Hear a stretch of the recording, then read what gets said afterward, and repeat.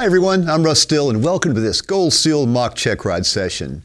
This will be an instrument pilot oral exam. It's going to last roughly between an hour and an hour and a half. In this exam, you're going to see a real applicant hash it out with a real examiner. These two men will be sitting across the table from each other, digging into weather planning, decision making, routing changes, and maybe even a few oddball instrument approaches. For all intents and purposes, this will be an authentic representation of what your own upcoming check ride might look like. So let's get started by introducing you to our pilots. Alex Hernandez, our applicant, is based here in Atlanta, and he's one of our Gold SEAL students, so you better do good, Alex. Our examiner, as always, is our longtime friend, Todd Shellnut. So, Todd, this is just one more of many. You've got all the paperwork done. You guys are ready to go. So, I'm going to exit stage left, leave it to you. Thank you very much, Russ. This ought to be a great night. Uh, we're going to have fun here.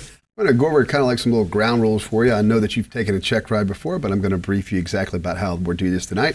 Um, I will be using uh, this stack of papers over here. This is referred to as a plan of action. And this is what a DPE uses when they go through a check ride. And it's basically a series of predetermined scenarios and trigger events that kind of help us um, make our way through the airman certification standards. I'll also be sharing some of the airman certification standards here on our screen, helpful screen in the back here. We'll also be able to see your flight plan and other things as well. So when we talk about it, we'll just both click over here at the screen and I'll ask you questions about your route and other things that you'll see here on the screen. Sounds good. Um, I will be writing some things with my fancy pen uh, as we're going through here. And so don't worry about what I'm writing. It's just because, like Russ said, we're going to be together for about an hour, hour and a half. And I want to be able to give you a thorough debrief after this is all over with. So, with doing that, I've got to make sure I keep proper notes throughout the ride. Sounds good. All right. Well, thank you very much. And if you don't have any questions, we'll go ahead and begin. Awesome. No questions yet. As that's wonderful. Okay. So first off, uh, we're uh, we'll just go um, kind of in line with the ACS. Uh, we don't have to actually go like uh, area of operation one, two, three, four uh, like that. It can just be uh, as long as I cover everything by the very end. But we'll start off talking about your uh, pilot currency as an instrument pilot, okay? So just like you had to maintain currency as a private pilot, we're going to talk about this as a instrument pilot. So I uh, before this, we talked about do you have a pen, some paper, be able to write things down as an examiner talks to you about some things. So here's some dates and some information for you. Uh, you received your instrument rating today in 2021 and it's today, 2023. And uh, uh, since you received your rating, you've flown five approaches, and you've tracked the NavAid seven times, and you've held twice. Can you act as PIC in IFR under IMC? And if not, what must you do in order to act as PIC? So I could not do that um, due to the fact that I need six approaches. Um, I need so the, the example you gave me is all I've done. I'm assuming um, I need to do six holds within six months, and this is two years. So I'm not exactly sure when these uh, approaches were done, but within six months, I need to do six approaches or six instrument approaches. Uh, I need to intercept uh, and track, hold, and uh, use navigational electronic equipment. Very good in regards to you going out and flying and doing everything that you're going to do, flying instrument approaches and holds and stuff, tell me how you document your experience as a pilot. I have a logbook. I, I put everything on, in a logbook. I actually have two logbooks. I use the one uh, on my on my iPad, and then I also use one on a physical one. Okay. Um, in regards to that, what do you just you just write down the time, or what do you add in the remarks section? So in the remarks, I will input that it was exactly that. Those in reference to those what we call six hits. I'm sure you've heard that before. Sure. um, so I try to put it so, uh, just for example, flying over here in Northeast Georgia, I'd say I flew the ILS into uh, five or in runway five for Gainesville. So I'd put KGVL, ILS, 5. And then I'll put CTH for circle, or uh, I'm sorry, uh, CTLs for circle land. Um, and I, that's kind of how I, how I log everything. Good. Outstanding. So uh, before we started, uh, we talked about the airplane that you're flying, and you're currently flying a, a newer model uh, G1000 172 that is equipped with the, the GFC 700 autopilot. Um, so you were scheduled to fly this airplane for a flight Uh, but when you show up, the only plane that they have available is one that has a, a six pack and a GTN 650 GPS with a CDI. Um, you've never flown this airplane before. Would you take this airplane into IFR? I would not. Uh, personally, I would not. Um, I have flown six packs before, but I've not not IFR. Or I I have done them IFR, but not not enough. I have much more proficiency in a G1000. Um, that is on my to-do list though to, to get proficient on six packs in case that was to ever happen if I really needed to fly and I didn't have uh, the G1000. Sure. Tell me about some of the risk that you would have to mitigate uh, for for a pilot who did choose to do something like that. So, could you rephrase the question? I Yeah. apologize. Why is it risky to do something like that? The instrument scan I feel like is integral in, uh, in an IFR flight. You really need to be consistently having a, a I don't want to say perfect, but a near perfect scan. Um, and when you have a traditional six pack, you know, if you do it consistently, you you can do the way that you uh, scan might be a certain way. If you have a shotgun, you know. Uh, layout, then you'll be able. To, I wouldn't be able to do it. You know, I'm not really sure where the attitude indicator is in comparison to the altitude uh, or altimeter. So I would. I that that's probably the the main my main uh, reason to be apprehensive about it. Okay. Um, on the day of your flight, you show up and you notice that the G1000 database is actually uh, out of date. Uh, could you still go fly IFR? I could not. Okay. Um, you're planning an, an IFR flight, and you check the weather the night before, and you find that the forecast shows that the the weather the next morning is supposed to be a hundred, uh, a thousand and three, meaning a thousand foot ceilings and three statute miles at the arrival. Uh, then you check the next morning prior to your takeoff and find that the destination weather is now 500 foot ceilings and two statute miles. You've flown just a couple hours in about the last five to six months, uh, but you are current. Would you conduct this flight? Personally, no. I mean, why? um, FAA has those quote unquote currency requirements, um, but I feel proficiency is is huge. Um, I eventually I'll get better with my personal minimums and be able to push them a little bit further um, once I'm more comfortable. But as of right now, my personal minimums are are pretty uh, conservative. Um, I wouldn't fly, for example, I wouldn't fly single pilot IFR period right now, but um, I wouldn't fly uh, single pilot IFR in in in tough IMC. You know, you know, th- thick layers where it's not going to be like I, I can break out way before uh, minimums. Um, but yeah, the flying with lack of what I would call proficiency, even even though I'm current, would is just uh, asking f- for trouble. Okay. All right, let's move on into talking about weather. Uh, tell me, what weather source did you use to plan for our make believe flight? One eight hundred WX brief that I called. Okay, excellent. I love to be able to hear that pilots actually still do that. That's still a wonderful thing. I love to be able to have a little bit more feedback than just looking at a screen, ask people questions. I just love that aspect of it. Yes. Um, why do you choose to use that service? So, ForeFlight gives me a, a good weather briefing here, um, and I know many of my friend uh, pilots use that, but I am not as trained as that individual is. Right? If uh, if I wanted to learn how to cook something and I had you know a professional chef near me, I would ask him how to do it. Um, I'm not going to rely on myself to do to look over weather uh, data, interpolated into whatever I believe is is uh, the way to read it. I would like to ask somebody, hey, is this um, so? how- Like, my entire route is going to be IMC, or um, could you tell me? I know that my route is 257 miles. I don't only want to know what it is at PDK or what it is at Jacksonville. I'd like to know what it is, you know, in Macon or uh, in Dublin, and just consistently going down, so I know exactly where or how the weather is going to be out throughout my flight, not just depar- departure and arrival. Okay, outstanding. Um, besides ForeFlight and calling a weather briefer, what other sources of weather uh, products can you get and places you can get stuff? Uh, 1-800-WXBrief.com is, an, is a website that is uh, commonly used. Um, uh, aviation weather. I cannot remember the website. I'm. Uh, I use a certain oh, one thing, and it's kind of Sure. like what what, I, what I'm used to. If you were about a week out from planning an IFR flight, where would you start about a week out looking at the weather? I'm not sure. Oh, I couldn't tell you where. Um, a week out, I uh, I'd be looking at uh, just weather.com uh, for radar, looking at the radar, seeing what, what what's what's around. If you know there's a hurricane coming or anything. Sure.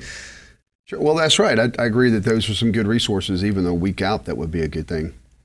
Uh, when you did say you called and got a briefer, right? Yes, sir. What type of weather briefing did you ask for when you called? So I asked for an outlook, um, and then I called back and I uh, referenced my outlook, and he gave me a kind of a, a deeper, more in-depth uh, look into my uh, my flight plan. Okay. And um, if how long out? uh, When when is the outlook uh, kind of made to be used for?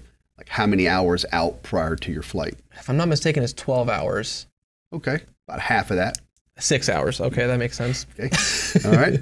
Uh, well, that's good. Well, that's that's a very good way to get started and get a very thorough pre-flight.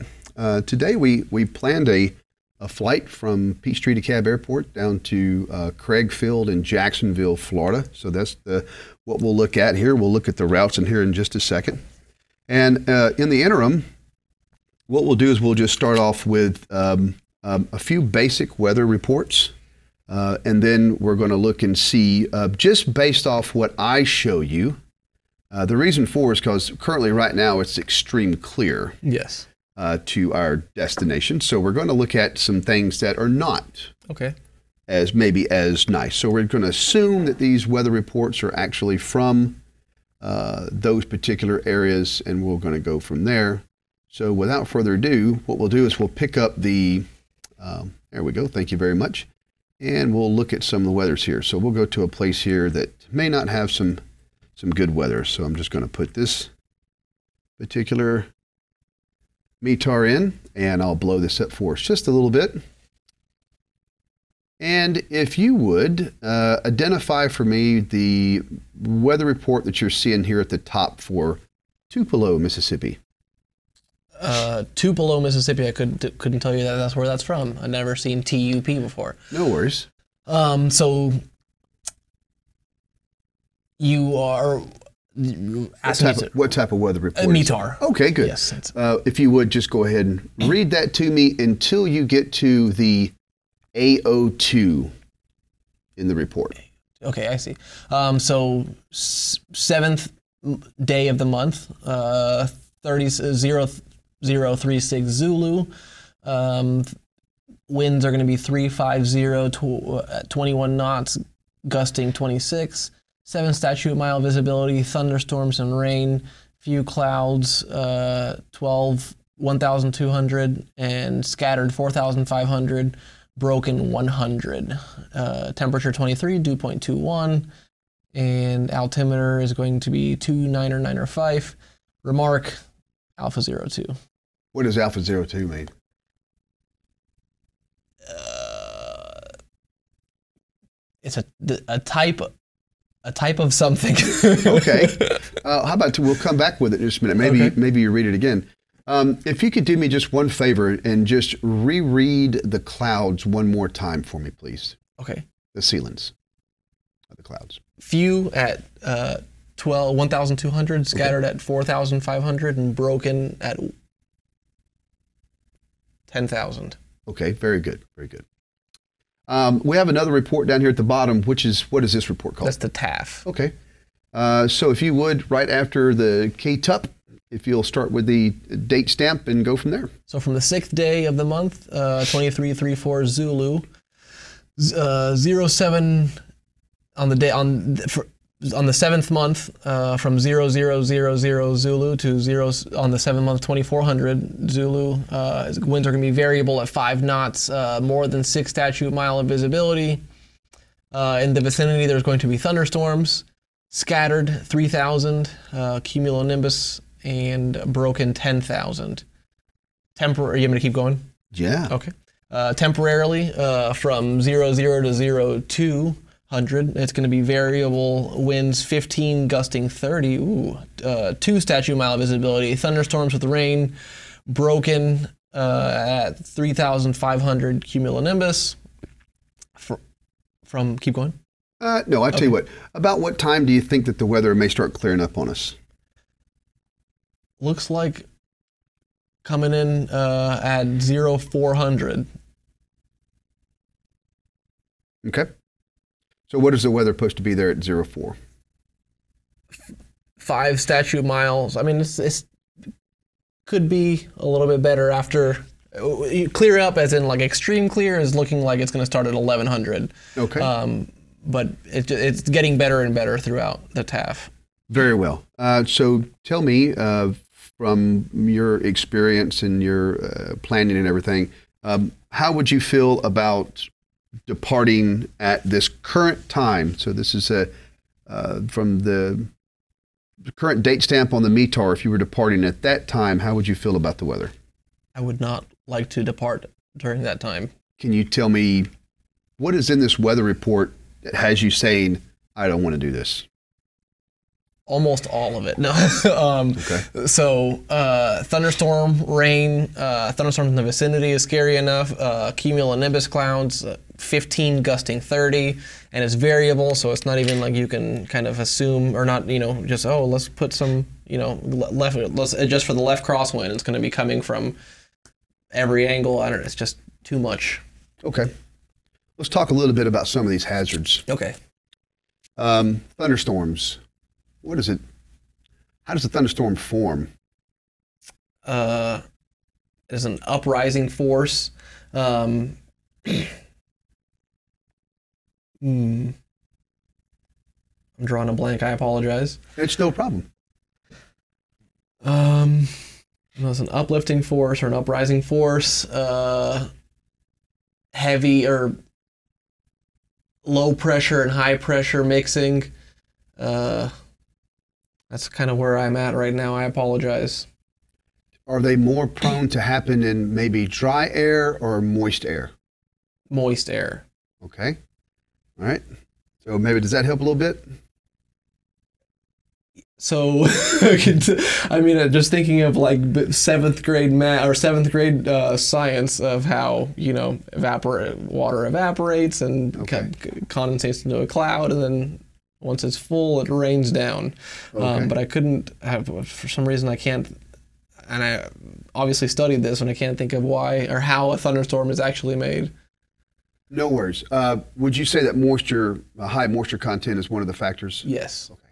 Can you tell me some different ways that moisture is actually added to the atmosphere? through evaporation and condensation would be one of them. Um, being, you know, the dew or brought in from from the the sea, There's different uh, reasons as to how, but I couldn't pinpoint exact re- or ways. Sure. No worries. Um, well, let's talk about a little bit about instead of talking about the formula of the thunderstorm, let's talk a little bit about the life of a thunderstorm. Does it go through some stages? Tell me about the life of a thunderstorm. It does. It has its developing stage, its uh, mature stage, and its dissipating stage, if I'm not mistaken. Yeah. Could you just look at a cloud and tell if it was uh, a thunderstorm going through the dissipating stage? it would start kind of I don't know how do you say this like coming upon itself. Uh, I don't know how to how to explain Yeah. it. Um, but yeah, it, it would- become smaller. I guess would be a, a elementary way of saying it. Okay, okay.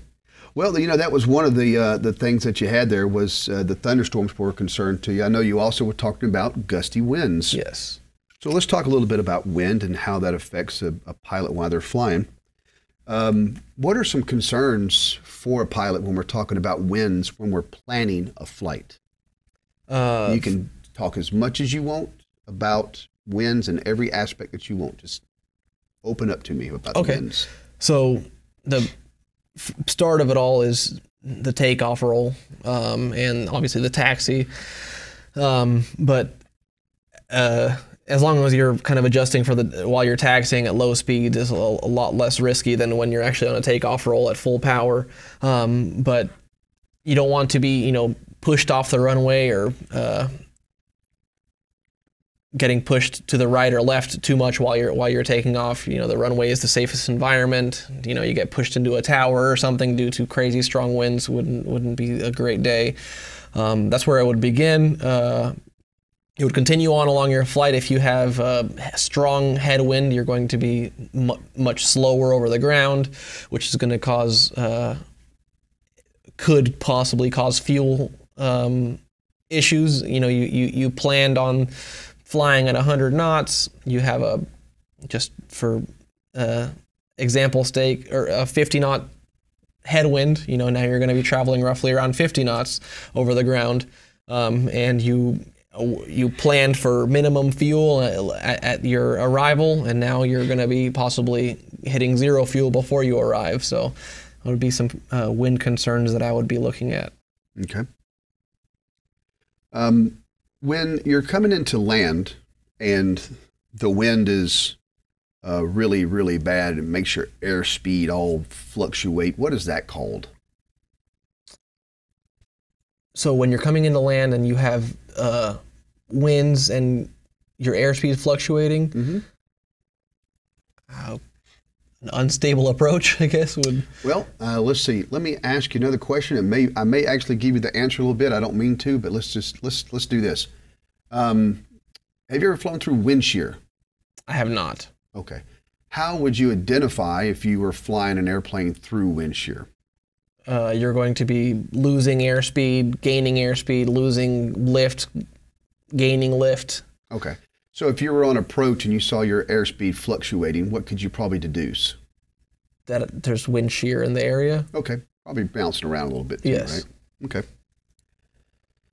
Uh, what are some dangers with, of wind shear? Um, it's a very, very strong down force of wind that could um, almost push you directly into the ground uh, without you wanting wanting that. And you're also uh, when you're on when you're in an approach or you're trying to a- a- approach uh, the runway environment, you want to you want everything to be stable.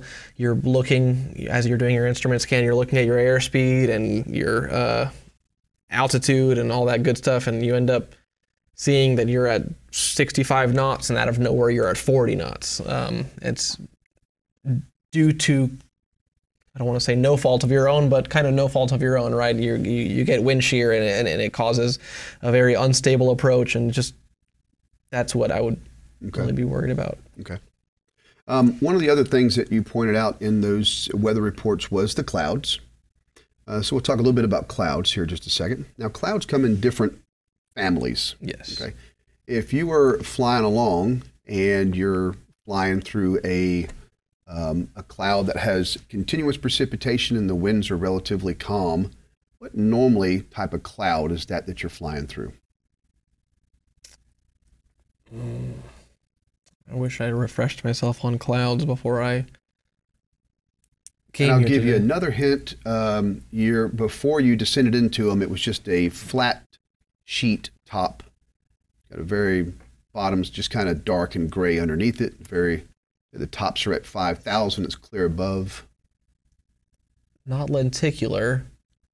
Is that what you're Where would you find lenticular clouds then? Since you're saying it's not lenticular. Maybe it is lenticular.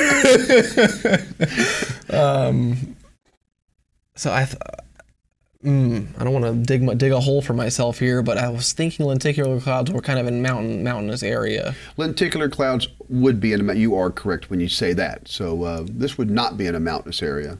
Okay. Yeah. So there's different clouds have different properties. Do you know about the different families of clouds? All I could tell you about right now is lenticular cirrus and cumulus or cumulonimbus clouds and Tell me stratus about clouds. cumulus clouds. How about that? Uh, Let's do that. Let's start from that. Start from that direction. Tell me about cumulus clouds. cumulus clouds are uh, though I like to explain the ones that kids draw. You know, they're like the the, the big poofy little marshmallow looking clouds, Yep. um, and they're thick. Uh, t- tend to be like when you're going through them, it's just like well, I guess I would say that the only cloud I've ever flown through was a cumulus cloud. Okay. Um, so it was just thick, a little bumpy, uh, nothing too crazy. Um, but uh, yeah, it's just very thick. As soon as you go in, it's like somebody just puts a white blanket she- over over your glare shield. So clouds have been said to be the signpost in the sky. They can just kind of tell us a little bit about the atmosphere and what's going on. Um, in private, you learned about stable and unstable atmospheres. Tell me about the atmosphere that would probably be present around a cumulus cloud. So, mm, man, I'm not there right now. Um, so You could always ask, ask me to rephrase the question if you need to. yes, that would that would help. I think. Hopefully, Rephrase the question? yes, please. Okay. Tell me about the characteristics of an unstable atmosphere. An unstable atmosphere is going to have really good visibility, um, and it's going to be a little less or a little bit more bumpy, more bumpy of a ride than a than a stable atmosphere. Okay. Anything else? An un you asked unstable, right? I think. Yes. Uh, if I'm not mistaken, that's that's when um, thunderstorms are starting to be made. Okay. Tell me about a stable atmosphere. Bad visibility, um, smooth ride, uh, and usually clear besides the visibility. Okay. All right. So there's this weather stuff. Man, we could just really go really hot and heavy deep in this weather stuff, couldn't we? Yes, and hopefully we don't. Well, at least at the very end of this, we'll know exactly what we need to work on. Maybe yes, that would be a help. that- Okay. That's definitely. Now, you know, it's very important that when we're looking at these things, we always want to look at, you know, we look at so many different things. But in essence, uh, the the weather reports basically have just this the bare bones basics. It's basically what the weather balloon sends out. You have the wind direction, you have temperature, a moisture content, just a couple of bare bones things, uh, dew point, things like that.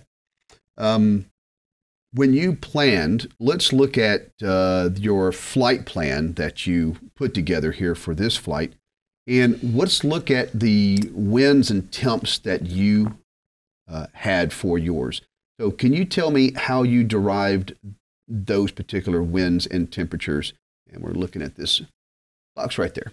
Awesome. Yeah. So I actually uh, pulled a lot of that information from uh, ForeFlight and went and asked when I was talking to the weather briefer. I was asking if those are the that that is what I should be expecting, um, and he gave me uh, basically the same on the second page. Uh, it kind of shows what uh, he told me as well. Um, but I, I pulled some of them off of ForeFlight uh, on, on in the nav log there, and also verified with the weather briefer.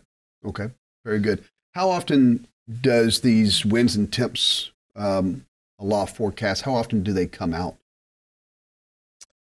Ugh, I do not know. Okay. No worries. We can come back to it if we have time. Okay. In regards to the weather that you looked at when you briefed this, can you tell me, did you have to choose an alternate? I did not have to choose an alternate. No. Okay. Let's look at your flight plan here that you've put together for Okay. us. It'll probably be the page two of the flight plan. And here we can see that this particular box, this, uh, this flight plan down here, it has 17 different boxes on it. And uh, I noticed that in their box 13, which is, by the way, it's the only box that's different between the VFR and the IFR flight plan. Um, I noticed you put not applicable. So Yes. tell me what made you put NA in that box. So from what I'm tracking, the when you need alternates, it's when the within before or after an hour, uh, there's going to be uh, lower than 1,000 foot ceilings, uh, 2,000. I'm sorry, 2,000 foot ceilings, three statute miles. I apologize for that. 2,000 foot take your time. ceilings, 2,000 feet above ground level ceilings, and uh, three statute miles of visibility. Anything below that, and you would need to list an alternate. All right. Moving on to the next page. We have moved on to the second page here. That is good. We're moving right through the plan of action. Um, there are, of course, we know that uh, there's different hazards when we're flying as well. What are some of the hazards that pilots just don't like to get involved in on a flight? Uh, Some weather hazards. could you, I don't know, rephrasing the question, elaborate more on the question? Sure. Um, do you like flying through turbulence? I do not like flying through turbulence. Okay. Can we identify that that's probably something that pilots don't like to fly through? That would be something that. what else do pilots not like to fly through? I mean, I would uh, say that clouds, if you can avoid flying through the clouds, So right, IFR conditions. IFR conditions. Okay, sir. I would say that was another good one. What else would you think uh, when a pilot's flying along may start to scare you if it starts to accumulate on your plane? Ice. Icing. So we don't like to fly through icing as well, right? Definitely not. Do we have weather reports that kind of tells us about these things? We do. Okay. Tell me a little bit about these weather reports, the names and the conditions that they forecast. So airmets, sigmets, and convective sigmets, I think, is what you're Yep. pointing towards. Um, airmets are uh, reports that that ass- uh, assist pilots, that- typically G- GA pilots, general aviation pilots, small aircraft, single engine, sometimes um, multi-engine uh, piston aircraft. That, that it, could, it could affect them, you know, due to uh, light turbulence or moderate turbulence. That's not going to uh, in a that would affect a, a, a small plane's flight compared to sigmets can aff- affect airliners and then convective sigmets will uh, basically put a ground stop on on and, and everybody like a for example a hurricane would be a convective sigmet Okay. Very good. Um, let's look a, circle the wagon around here. Back to this other thing here, just a second. yes sir Um, is your airplane equipped with weather radar? it is equipped with weather radar Okay. Um, is there any is there any good? What's some good good things, bad things about that? it's it's not exactly real time. It doesn't uh you know, if out of nowhere it starts raining right in front of me, it's not going to show rain popping up on my uh on my uh actually for for example today I was flying and it showed that we were flying through rain and it was clear. So that rain must have been there, you know, several minutes ago.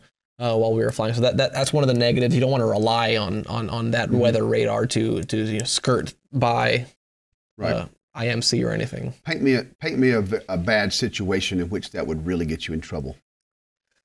you see uh, some thunderstorms coming in and you're kind of like calculating oh you know what i'll definitely make it there before that the hurricane comes because i'm seeing that the hurricane you know moving a lot slower than we are um, well that hurricane or not hurricane i'm sorry i don't know why i keep saying hurricane uh, obviously because we just had It's one okay. recently uh, this is all mock. yeah. you can do the hurricane if you like.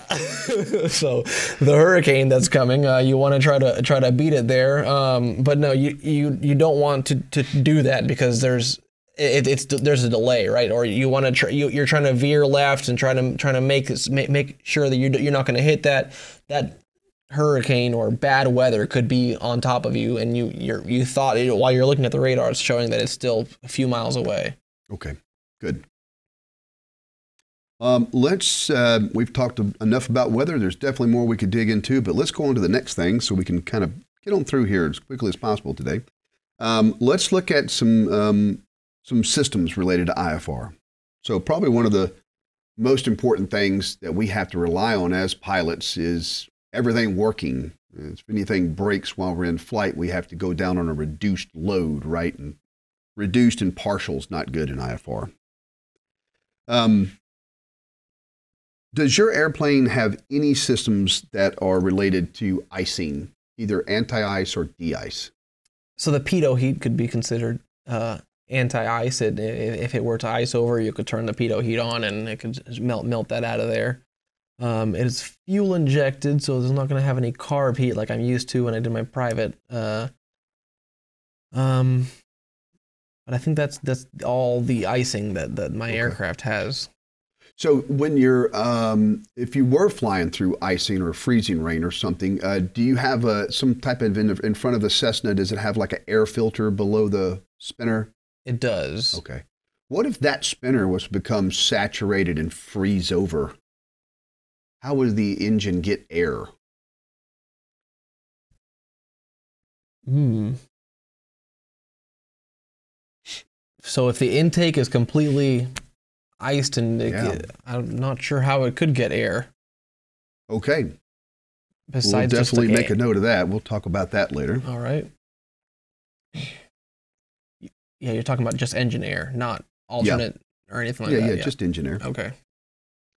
Um, because and the only reason why I asked that is because you brought up the um, because it didn't have carb heat. Yes, sir. Yeah, so that's that's just a spin-off question of that. Okay. So how would you recognize that you did have? So now let's go back to the original question. How how would you recognize that you did have pitot icing or some type of obscurement to the pitot tube? So your airspeed indicator would uh, be out of whack or be out of out of out of normal usage. Now, your standby instruments that you have in the year model that you're flying, is it the G5 standby or is it the regular The regular air instruments at the bottom? Yes, okay. So, what would you see on your G1000? What type of indication on your airspeed indicator there? It would show so And you may have just said it. Just repeat it. so the the air my, my airspeed indicator not working normally. So um, for example, if it was to be uh, frozen, it could it could it could show zero when I'm actually moving uh, at a Okay. certain speed, or it could lock at a certain speed before Would your standby also show zero? it would. Um, I have seen in some of these G1000s though that uh, when the sometimes the airspeed indicator may have a red X through it. Hmm. Is that the same of as a pitot failure, or what is that? I don't think that's the same as a pitot uh, failure because uh, p- practicing partial panel, if we're pulling the AHRS uh, circuit breaker, it, we, I still have my pitot heat, but I or uh, pitot heat, uh, my uh, ASI there, my standby ASI compared to the red X over my um, airspeed indicator on my G1000. Okay, very good. Um, are you familiar with what the manufacturer, uh, what the manufacturer of your aircraft says what you should do if you become, if you should get into icing conditions? I do not. I'm not aware. Okay.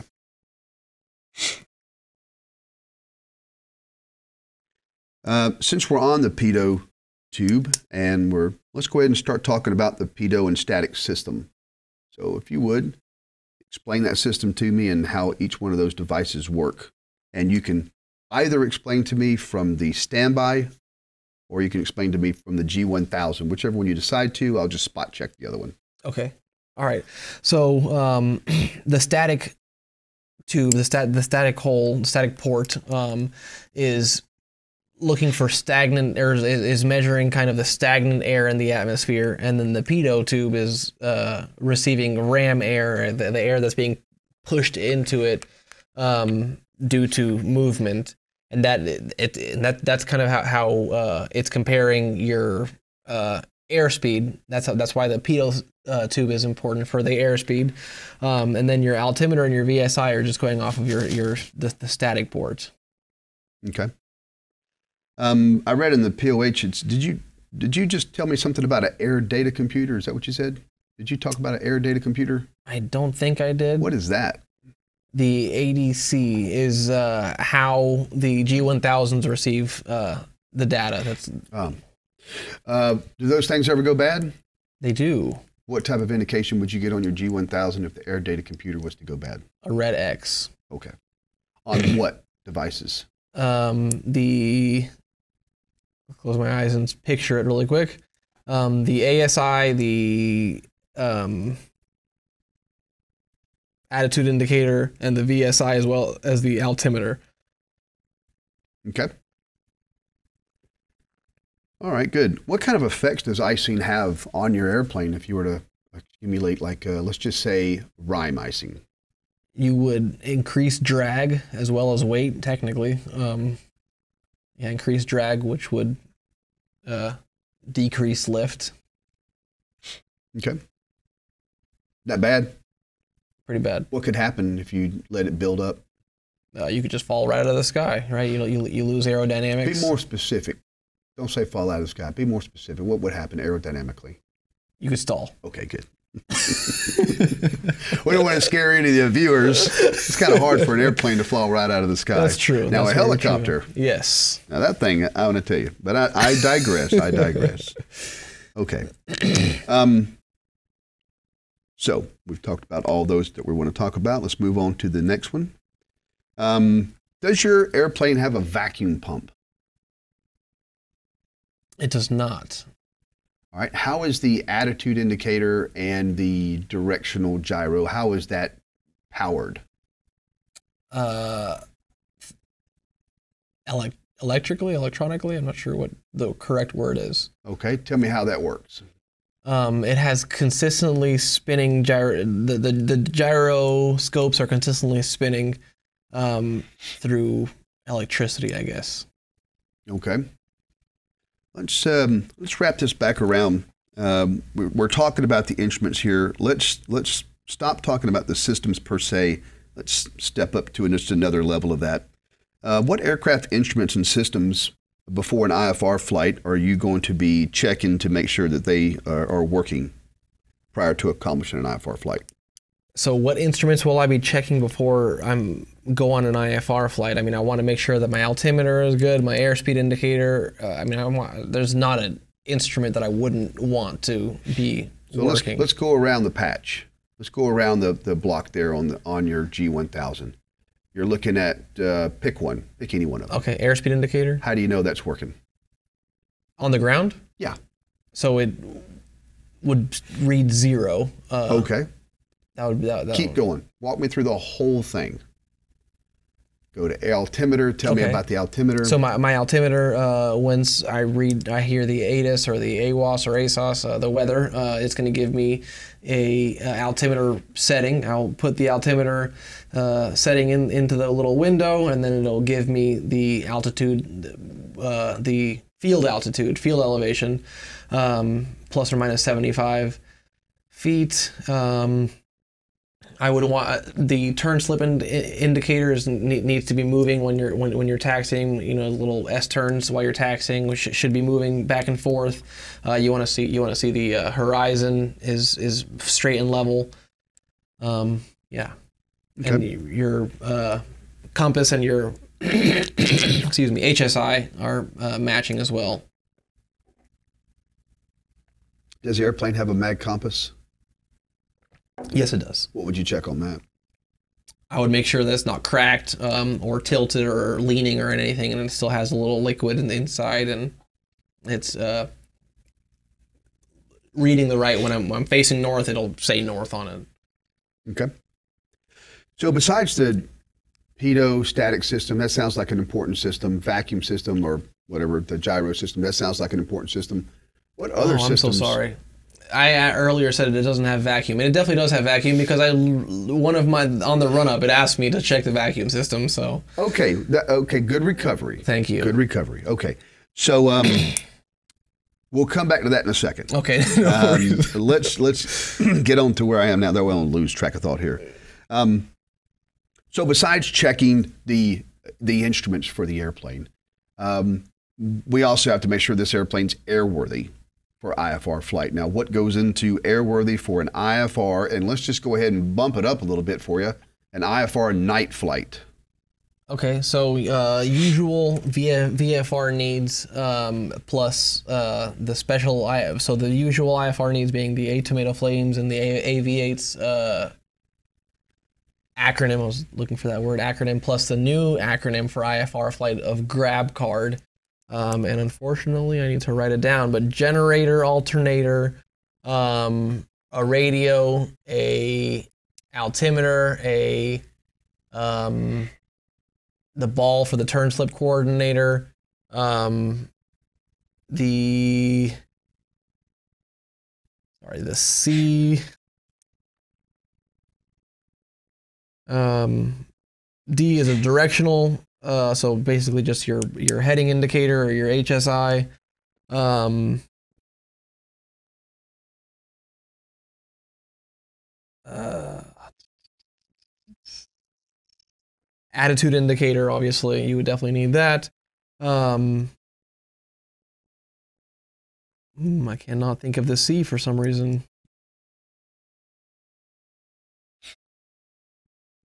oh clock Okay, very good. Um, you you said altimeter. yes sir But it seems to me like the altimeter also appears in a tomato flames. It Like does. the- why is it in both of them? Um, it needs to be.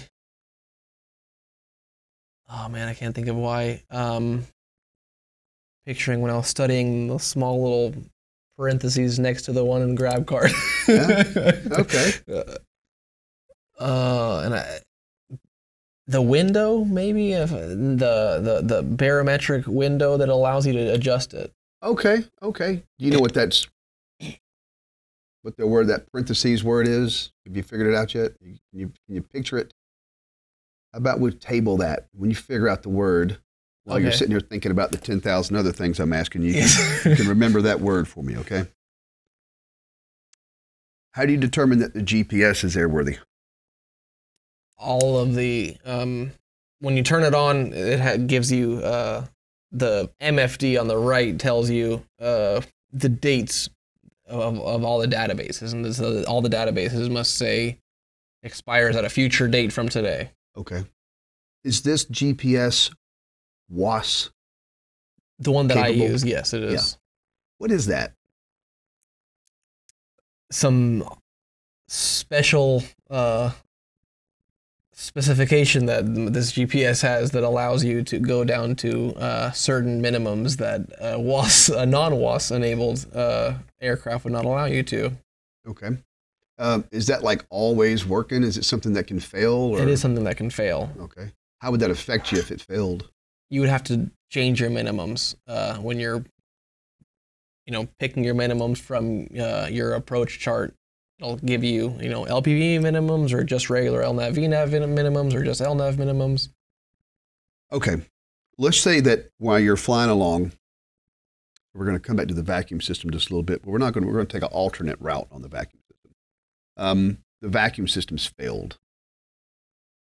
When anything fails in the airplane, what's one of the first things that you have to do as a pilot, Let especially if you're an IFR? Let ATC know. Let ATC know. Okay. So we're going to talk about what you would do if that would happen. But before we do it, I want to know, besides telling them that something has failed, what other things would you be required to report to ATC without a specific request?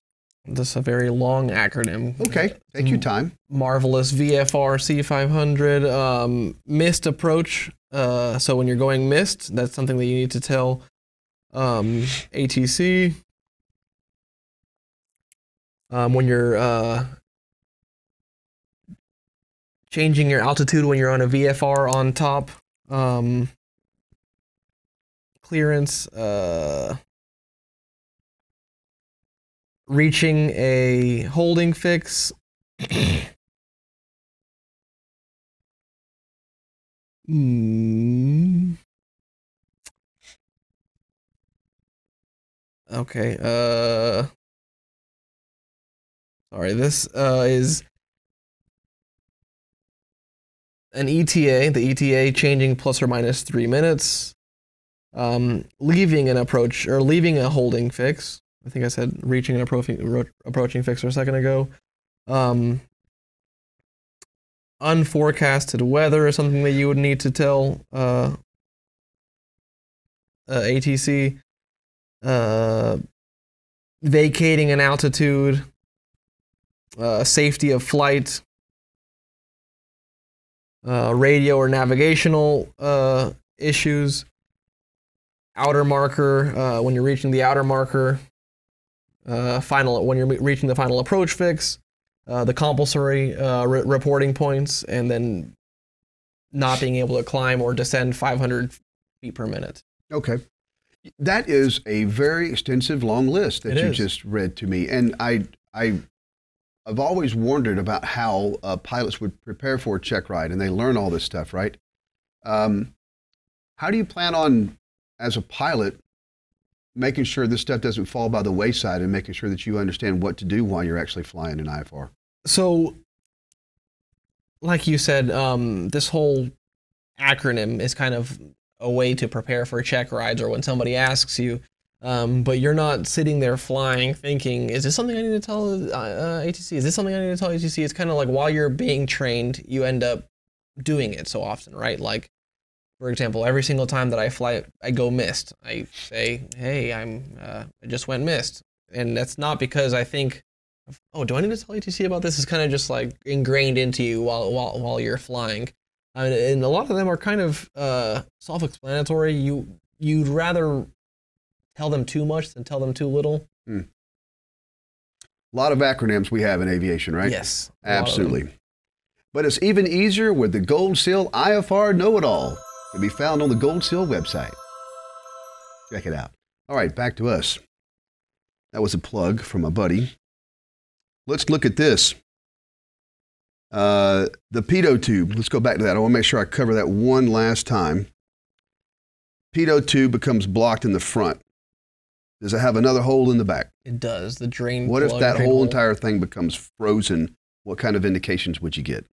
So your airspeed indicator would, uh, confusingly, it would move. It would still move. It would just, it would still change, um, which I think is uh, not more dangerous, but mentally, it kind of like make, ma- makes you feel a certain way because it moves with your altitude, right? So if you're gain altitude, it starts going higher, and if you lower altitude, or if you, sorry, descend, Yeah. uh, it goes down.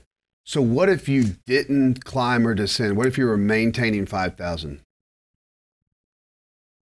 Or whatever altitude, substitute an altitude. It would freeze at what, at what it's at what it's at. It wouldn't move. Yeah. So bottom line is, if you just stayed steady in flight, you wouldn't know anything, right? No, you would not know anything. Oh, that's scary. That is scary. Okay. Just threw that in there for you. Okay, very good. Um, one last thing here. Uh, we talked about the magnetic compass. Um, you are on a heading of west. Your vacuum system is failed. Okay. ATC requests that you turn 90 degrees to the left to a heading of south. So you're on west, you're turning left to a heading of south. Tell me how you do that in an airplane partial panel and you're doing it strictly by the mag compass. So you would obviously go from W to the S on the magnetic compass, um, but you need to do that at a standard rate um, when you're IFR. So you would uh, a full turn is two minutes, a half turn is a minute, so it would take you about 30 seconds. Try to kind of time 30 seconds or take 30 seconds to make that left turn. Hmm. Interesting. Who told you to do time? Who told me? Yeah, did you figure that out on your own? Did your flight instructor tell you that? Yes, uh, Russell Still told me that on the Gold Seal. Wow, uh, wow, ground what a smart guy. He's a pretty Um, cool guy. It seems like turning to headings on those magnetic compasses can be quite difficult sometimes, right?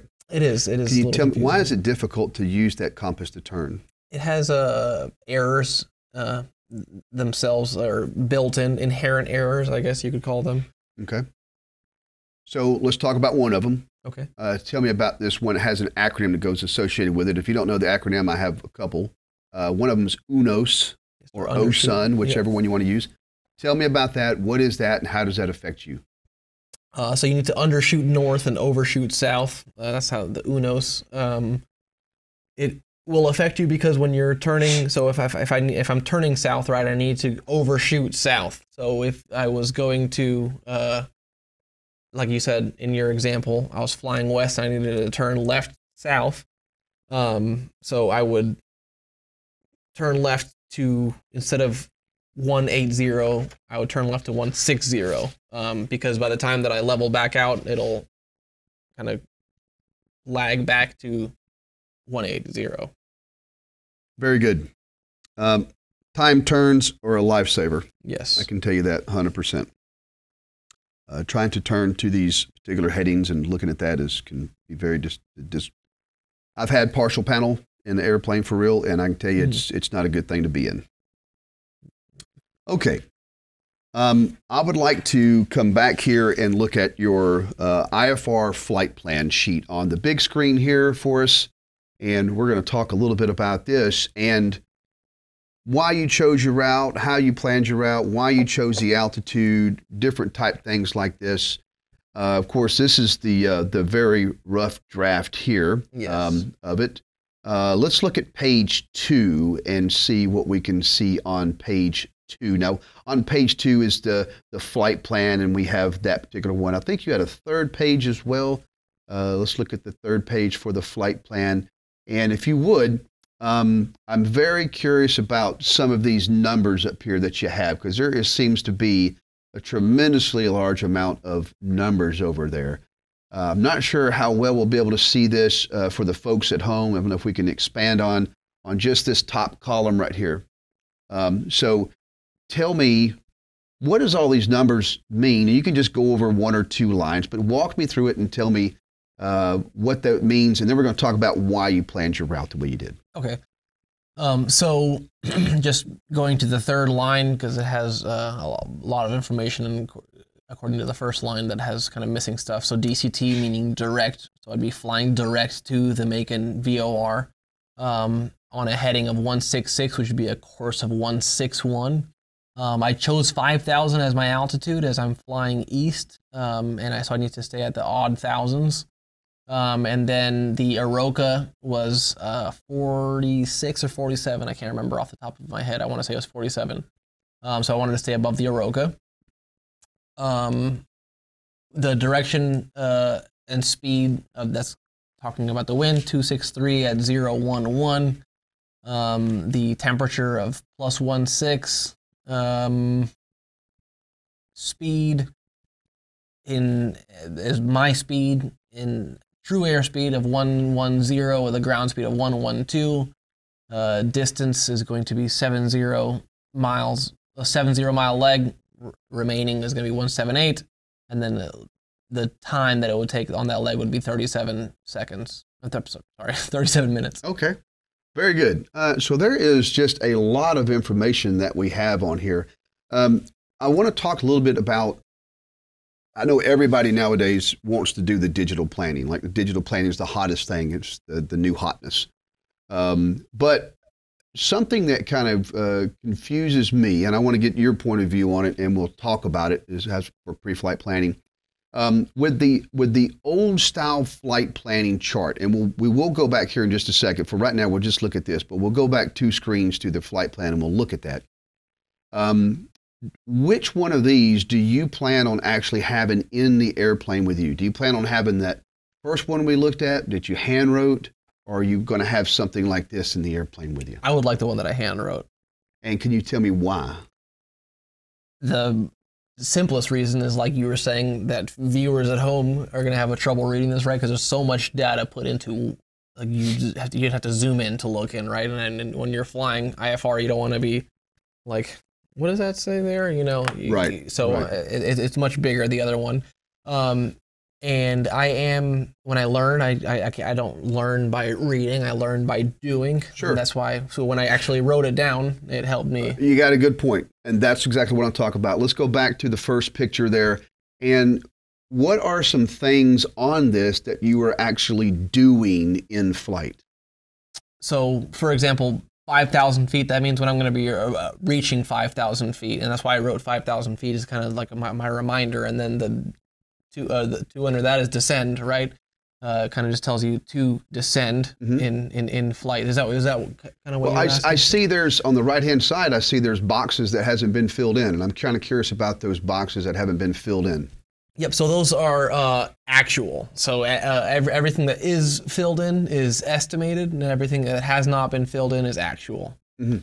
So wh- while you're flying, you would throw that in there, i- throw that information in there. You ever done that? I have. Okay, good.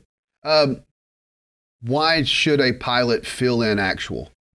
Uh, because not ha- this having or not the reason you wouldn't need this navigation log I could start there is because you have a lot of all that stuff on your computer you know in your, on your uh, flight computer in front of you or or in your GPS and so but if your GPS were to go out it's pretty easy to be lost um, if you're flying in a uh, what's it called familiar area you can Yeah. kind of look oh you know there's the Mall of Georgia I'm, I'm, I'm, I know where I'm at more Sure. or less when you're an IFR or you're not you're an IMC, you don't know where you are. But timing where you are, or timing when you left, and and seeing that Um, I left at 21:30.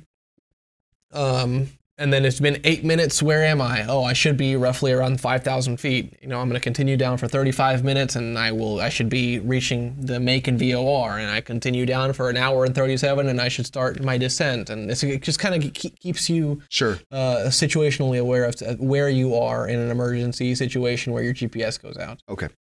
You gave me a big, long, lengthy acronym a minute ago. Yes, sir.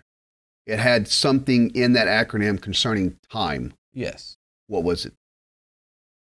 ETA ETA what? What is the numbers that follow that? plus or minus three minutes. Okay.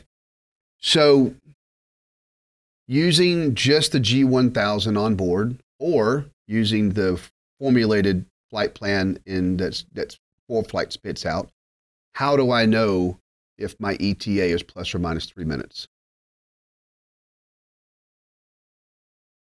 So what do you? So can you uh, uh, allow- ask it? I guess one more time. Just repeat the question. Yeah, absolutely. And then this is if I'll reword it if I need to, but, Okay. but I'm, I'm trying to get to something very specific. We have numbers, we have boxes that says actual. Yes. We don't have that on G1000. Correct. It just shows total time elapsed. Yes. Uh, we're supposed to have a clock. Yep. Okay. It was also, and then your another acronym that you gave me tonight of all the acronyms you gave me tonight. Um, how do we know as a pilot that we are plus or minus three minutes in our route? Not on the. Not using this. Hmm. That's a good question. Well, let's just say that you were using this, right? Okay. And this is, I think this is the same thing as your last, uh, the one that you did in ForeFlight, right? It's the same Yes, points. Yes. So how would I know that I arrived at 5,000 on time? Because you would look at the time that you, or you would look at, you know, your altimeter and say, "Oh, look, I'm at five thousand. What time is it? It is twenty-one forty. Oh, Right. it took me two minutes longer than I was expecting to to get up here. So it does the this one has a place for you to write it in, right? It does. if I had it digitally on ForeFlight, what are my options to record the time that I arrived at those destinations? I don't know if there is a spot to put that. There probably is, but I don't know it. Okay. Something to think about as an IFR pilot Definitely uh, because you have to comply with Yes, those. That's, that's a regulatory thing. I have a knee board uh, for that, but I don't know if there's anything on uh, on ForeFlight, and I and I would like to learn if there is Things that make you go, hmm. Things that make you go. "Hmm." Yeah. Okay.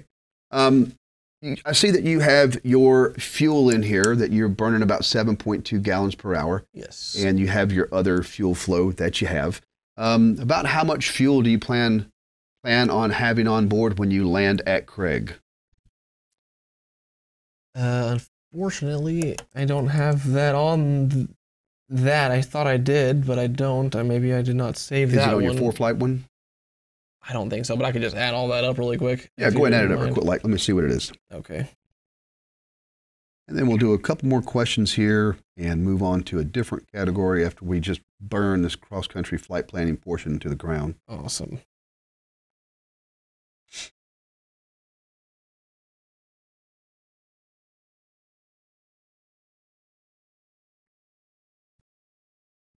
We'd have about 31 gallons of fuel still in, in, in, in the in the plane. Okay.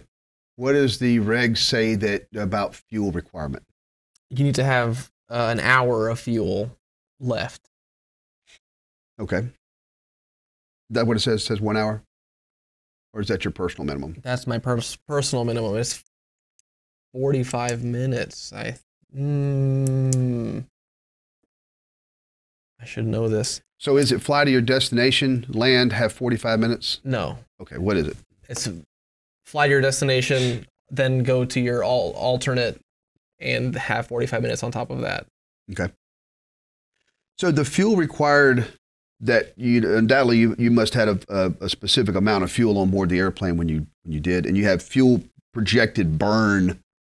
Does this fuel burn that you have calculated does it take into a thing take take into account things like taxi and run up and flying a unforecasted SID that they gave you and climbing to altitude and flying a star that wasn't filed and a flying an approach, a full approach.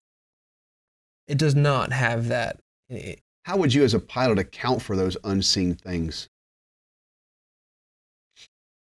Mm. So I, not that this would, um, I, like so. For example, when I was doing my, uh, just calculating all that, that 1.9, I made it two. That 4.2, I made it five. That 11.7, I made it 12, and then that 0.5, I made it just to Sure. calculate more fuel burn than is than is actually happening. Um, but yeah, so I, I mean, I would have to time anytime that that, that there was a uh, deviation to my, my my original flight plan. I would need to start timing to make sure that I'm burning 7.2, which I would uh, say eight hours of fuel. Okay. So this time thing is pretty important, It huh? is absolutely Okay. So it's sometimes nice to have a bunch of digital stuff in front of you, yes, but it's imperative that you have a knee board and it's imperative that you make notes of things. absolutely. Uh, because sometimes just looking at a number and saying 20 minutes until we get to our destination is just not enough. Yes. Very good. Tell me, how do you file an IFR flight plan, please? How do I personally do How it? How do you personally do it? on ForeFlight. What other ways are there to do it? You could file it through 1 800 WX Brief or online at 1 800 WX Brief. Um, there's other websites that you can do it on as well. Um, but I could not tell you all of the other websites that, that you could do it on. No worries.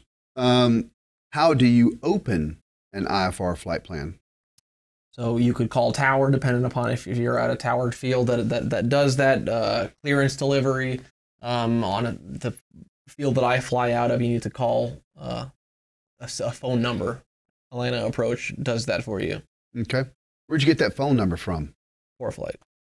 Okay. ForeFlight's got it all, doesn't it? Yes. Uh, what if I, what if a pilot didn't have ForeFlight? This is a bonus bonus question. Where would I get that number if I didn't have ForeFlight? Uh, the AFD would have that information on it? AFD, man, you've been in aviation for a long time, hadn't you? Uh, yeah, that's that's that's we don't a call that green book anymore. The AFD chart Chart- supplement. chart supplement, what it yes, became yes. long many years ago. yes, but but guess who still calls it uh, AFD, probably Russell the still. ForeFlight. No, I'm just kidding. I'm just kidding. But that's good. Uh, no. No, um, Yes, Flight actually does call it AFD now that I think they about do. it. They do. Actually, when you, still yep. do call it that. Um, okay, so that is some that is some bona fide ways to be able to open a flight plan. What about closing it? Uh, so you can close it in the in the sky with the person that you're currently speaking to, um, or you can call again the same people that you called to open it. Yeah, you know, it's, it's kind of funny how the this VFRs open and close. So we reactivate an IFR flight plan. Yes. Yes. At a, a nicer language. It is. Yeah. yeah, nicer language. Um, let's see here. Um, what you just told me how you did it, which was my next question, which is how do you receive an ATC clearance when you're at an airport without clearance delivery? And you just told me how to do that. So that works good. Um, I'd like to give you a clearance, Okay. and I'd like for you to read it back to me. Can I please? Um, actually, I tell you what, I'm going to give you. eh, let's see here. I'm going to give you an N number. How about that? Okay. Okay, you ready? So I'm going to I'm going to give you a clearance, and you're going to read it back to me. Okay. Sounds good. Yes. Here we go. November 1, 2, 3, 4, you're cleared to the Craig Airport as filed. Upon departure, climb and maintain 3,000, expect 7,000 in 10 minutes.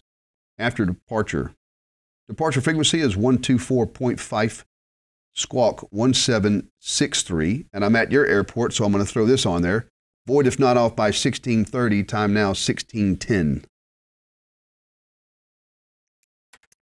All right, so I am cleared to the Craig Airport uh, as filed. Climb and maintain 3,000, expect 7,000, uh, 10 minutes after departure. Uh, frequency 124.5, squawking 176 uh, and 1610 is time now, void time 1630. Good deal.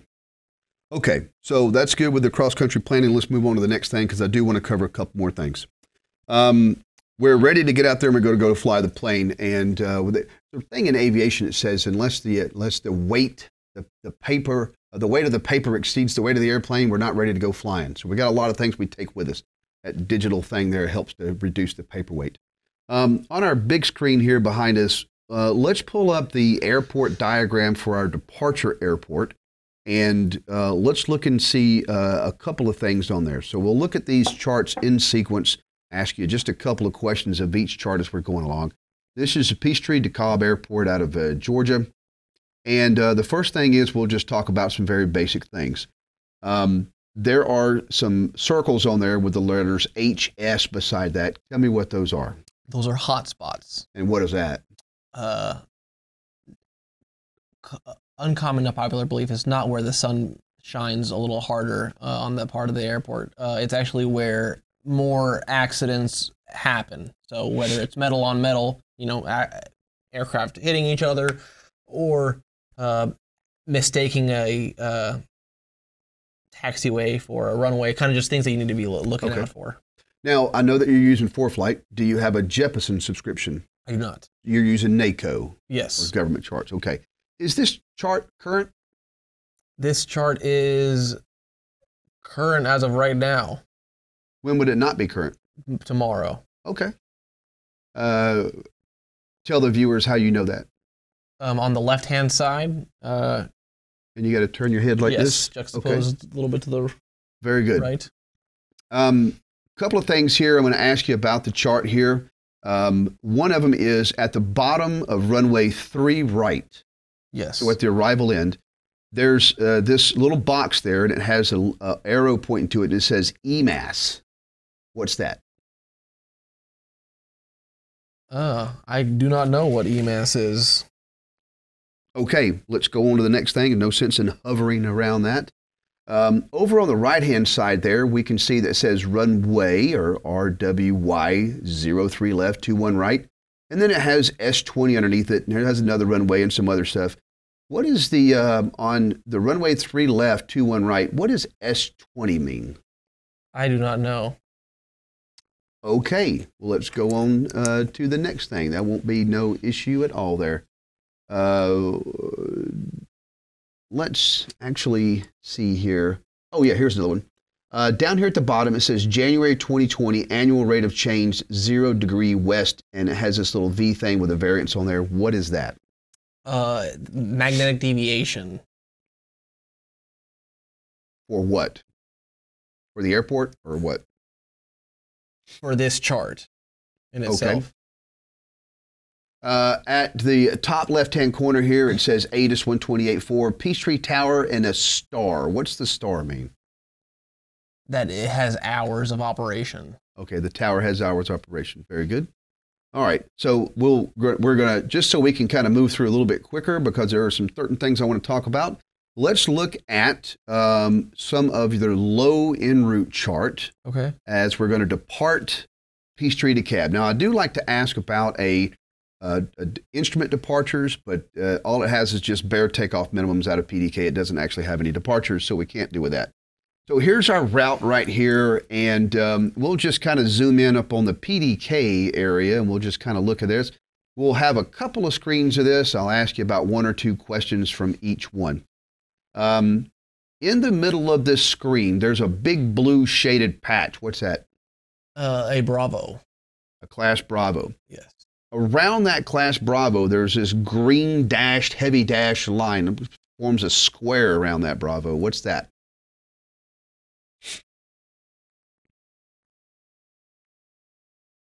I do not know what that green square is. Okay. We'll cover this in your debrief, Okay. but we're just going to keep going because I do want to get on, uh, cover a couple more things here Yes, before sir. we do. All right, let's look at the far right hand corner over there. There's a couple of numbers that's written in gray four to the second power, or however you want to say it, four to the seventh power, four to six. What are those numbers? That is the OROCA. What is that? So when you're there's airways, um, but when you're not off an airway, when you're off route, um, there's a certain uh, elevation that you need to stay at to make sure that you're not going to crash into anything or stay a thousand to two thousand feet above uh, the nearest object. So, how much clearance is that 4200 giving me? A thousand above the tallest uh, object Now, a minute ago, you said a 1,000 to 2,000. When would it be two? in mountainous terrain. Okay, I like that answer. Um, I see that there's some routes around here, like some Victor Airways. Yes, sir. Some of them are blue and some of them are black. What's that about? So some of them are uh, using ground-based navigational aids, and others are using a GPS. Can you use the black ones? I can, yes, Can you use the blue ones? yes. Okay. Let's go to the next chart here that we have, next section of the chart. Uh, a couple of things on here. Uh, there's another little lighter shader blue over there, smaller one. What's that one? That's a class Charlie right there. That's a Class Charlie. Um, are there any other airspaces that are depicted on this chart? There's MOAs on this chart. Um, I'm not sure if that's kind of what you're what you're talking. Uh, just regular airspace, not special use. Okay. Um. So there is none. Just Bravo, Charlie, and uh, yeah, the Echo uh, Okay. and the G- Golf. What are all the green airports? Those are all uh, airports with instrument approaches. Okay. Let's uh, zoom in on the next page or just go to the next page. And I think there's a close up picture of some routes here.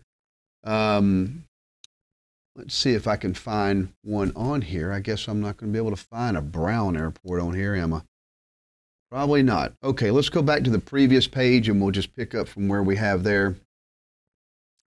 Um, so let's look at uh, some of these some of these things here. I'm just going to get up here so I can point. What's this thing here? That is a VOR. A VOR. All right. And uh, let's look at uh, there's this, maybe hard to see, but you see that green line right there? Yes. That particular line right there? What's that line there? That's the magnetic uh, differ deviation in in uh, the, the difference in your magnetic and true north. Okay. And what's that word called one more time? Magnetic deviation, maybe variation. Maybe variation would probably be the more correct term. Yes. Okay. Very good. Uh, let's go to the next one. Let's look at some. Um, do we have a? Let's go to the next one. I want to see if I get a little bit more close up a view of the of the airways. So we're looking at here. Uh, let's look at this airway here. So we've got some numbers here above the airway. So what are that? What is that number and that number and that number and that number? So the top, the three thousand, that is uh, your MEA, your minimum in route in route in route altitude. Okay. Uh, four four one is the n- number of just the name of it, um, or the number associated to that uh, airway. Ninety five is the uh, length of the airway, um, and then eighteen. I can't tell you what the eighteen is. Okay. Um, what is this triangle? It's like an in- intersection. An intersection? Yes. Okay. Um, with, is this a, as far as the intersection goes, is or this uh, this point, is this compulsory or non-compulsory? That one is non-compulsory. Non-compulsory. All right, very good. Uh, there's a little 46 inside that funky looking figure there. What's that? 46 miles if you're going that way. There's this 46 mile length if you're, if you're go, from the last one if you're going that way. Okay, outstanding. Um, up in the upper right-hand corner there, it says uh, P-50. What's that? A prohibited area. Can you fly on that? You cannot. It's prohibited. Okay, right there in its name, huh? Yes, sir. Okay, very good. Uh, over here on this airway here, there's a little gray holding pattern. What's the purpose of that being listed there? Uh, it's just a published hold. So um, that's kind of where uh, could send you if they said, "Hey, hold at lips uh, on the on the published hold." At, I'm assuming that's how you say that. Okay. Um, and you would just it kind of shows you that it's left turns and it's you know okay. I'm sorry Um, right turns. Yeah, last thing here, um, read me from 22.2 all the way down to the bottom, read me that VOR box. Okay, 122. Oh man. 122.2 is the FSS for that VOR. Um, Craig is the name. And then there's two H's. 114.5 is the frequency. Uh, CRG 92 is the uh, code for the VOR, and then that more the, the line dot line dot that's the Morse code that you would listen that you would ID when you uh, tune into the VOR, and then you have the um sorry, the coordinates, and then Gainesville is this the the flight service. Okay. Um, one more time, if you could explain to me, after the Craig, there's two H's in parentheses. What are those two H's? I do not know what those Okay. two H's are. No worries. We'll come back to those in the debrief. Okay. Um, you are flying along, and um, so we're going to go now to a, a different section, but you're going to have to figure out what I'm talking about here just by way of the scenario, okay? All right. Um, so you're flying along, and uh, you realize you ain't heard anybody in a long time. Mm. So you squeeze down the trigger of the PTT and you go, y'all still there? And nothing. You check your static, your squelch. You go to activate the squelch. It's dead silence. Volume, nothing. What has probably happened? Uh, communication failure. Okay. So you know the question I'm going to ask you. Walk me through. Um, you're almost to Craig. You're only about 50 miles out from Craig, okay? It's hard IFR all the way there, but you don't have any radios for some reason. Walk me through what you would do in this particular instance. Uh, take a deep breath would be the first thing I would do. Um, so obviously I've tried to troubleshoot my radio. Um, for a, uh, I know that this is not going to suffice for this uh, check ride, um, but I have a handheld that I carry with me just in case because I, I want to make sure that um, if the radios in my aircraft were ever to go down, I, I at least have uh, a handheld that could be used as a backup. Um, so that's what I would use. Um, but I'm just gonna assume that in this check ride, the my batteries have died. um, so I would first try not to freak out, continue flying uh, the aircraft. Um, as they say, aviate, navigate, communicate. So if I can't communicate, at least I can still aviate and navigate.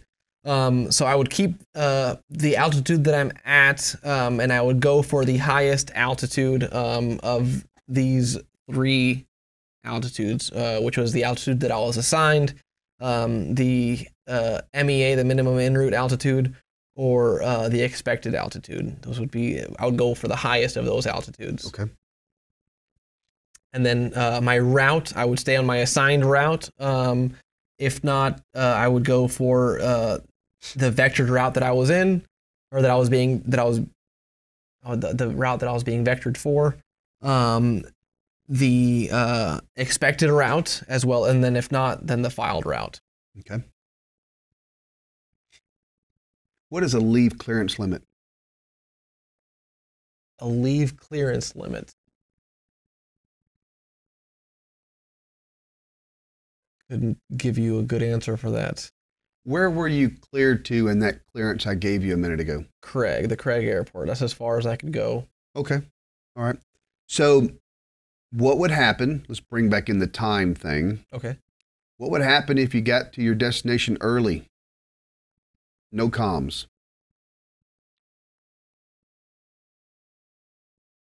That would be that could cause an issue because they are they're not expecting me to uh be there at the time, so they have not cleared that area for me at that time. That could cause an issue. Okay. What happens if you get there on time? That would be good. What would you do? In what sense? So, it, where have I arrived on time? Um, at your leave clearance limit. So I've arrived at Craig. Well, sort of. Of course, you, hopefully you didn't land at Craig, Okay. but So you're only you you're you're on time. So what would you do if you were on time? So there's three different po- possibilities here. Okay. You're either late, you're on time, here. or you're early.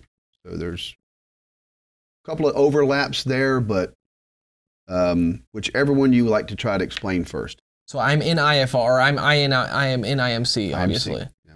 Um, so I would uh, try and make it obviously as, as, as on time as possible. I would go to a the, the beginning of uh, an approach fix, and and then but the, I would go to an initial approach fix and try to fly the approach and land.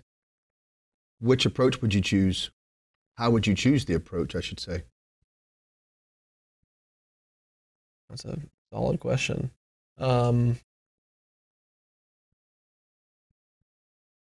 I would go with the forecasted weather, the last thing that I was that I was told, or if um, there was a you know if I when I checked the NOTAMs, none of the runways were closed or none of the air approaches were were uh, there was an issue with any of the approaches.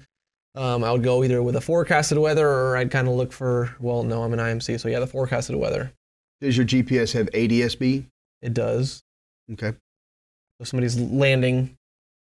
If if everybody's using, for example, runway one, then I could you know land on run. I would I would go for the approach on runway one. Okay. And so when would you leave this hold that you were holding at now? At you're at five thousand feet and you're just holding over this spot. When would you leave it? So if I was given an EFC uh, at an EFC or at the EFC, uh, could estimate further clearance time, and if not, I would try to uh, arrive at my airport as, as close to the ETA as possible. Okay. So early you'd hold. Uh, what if you're on time or late?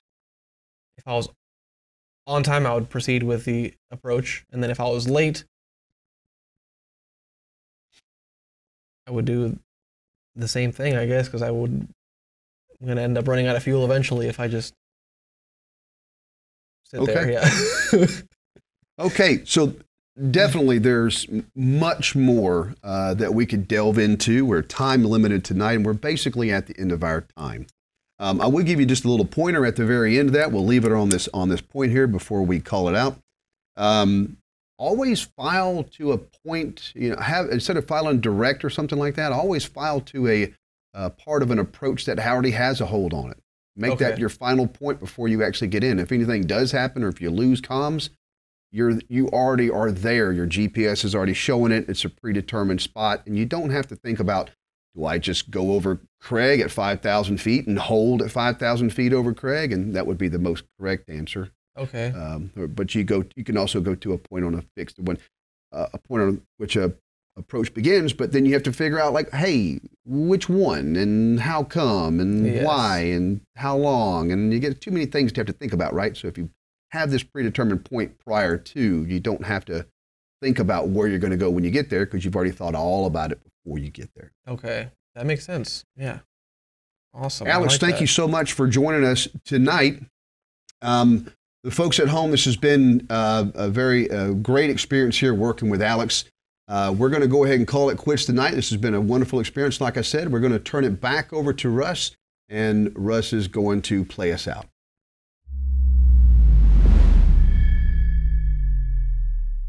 Well, Todd, Alex looked like he did pretty good. He seemed comfortable. How do you know his stuff? How, how did he do? You know, he actually did quite well. Uh, he's he's still preparing.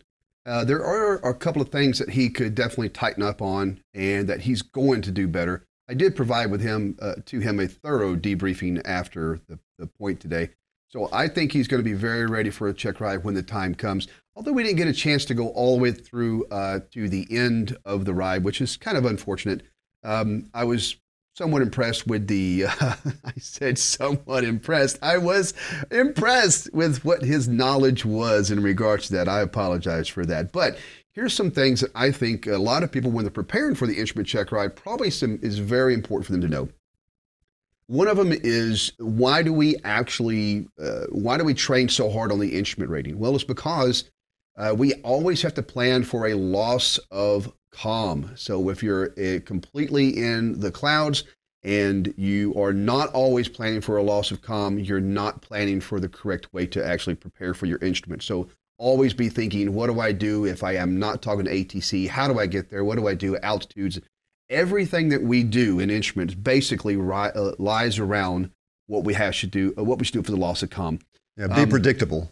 Yeah, absolutely, one hundred percent. It's all uh, it's a, it's a ballet. It's very choreographed. There's no there's not a lot of things that are that are punches to be pulled. Uh, we we train on systems failures. We train on every type of thing. So it should be what just business as usual. If anything should happen during that thing, um, and then the second thing is think it through. Whatever you're trying to do, just think it through. I ask a lot of uh, scenarios that causes the pilot to actually try to think it through and a lot of them don't have that. They have a lot of Q and A uh, prep that goes into it, uh, what we refer to as rote memorization for the questions. Um, what what three uh, items are in the system? It's one, two, three. All right, how does that work? Mm, not sure. Okay, well that doesn't really help me that you know what the things are called, but you don't know how they work and if they should go bad. What does it look like when they're bad? So thinking it through, thinking about loss of comms, that'll really set someone up right for a for an instrument check ride. Okay, sounds good. I like seeing his confidence in the fact that he was never at a loss for words. Right. Absolutely. So it's nice to see somebody who's comfortable in the seat.